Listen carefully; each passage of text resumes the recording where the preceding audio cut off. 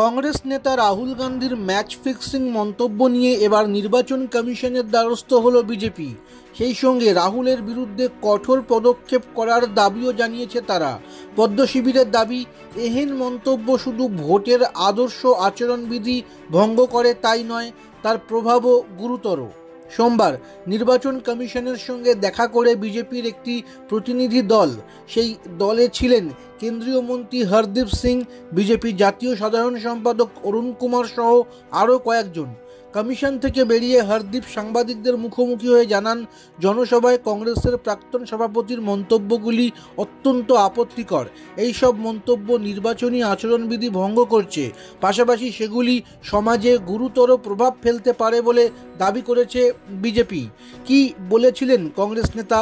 অরবিন্দ কেজরিওয়ালের গ্রেফতারি সহ একাধিক ইস্যু নিয়ে রবিবার দিল্লির রামলীলা ময়দানে সভা করেছিল বিজেপি বিরোধী জোট ইন্ডিয়া।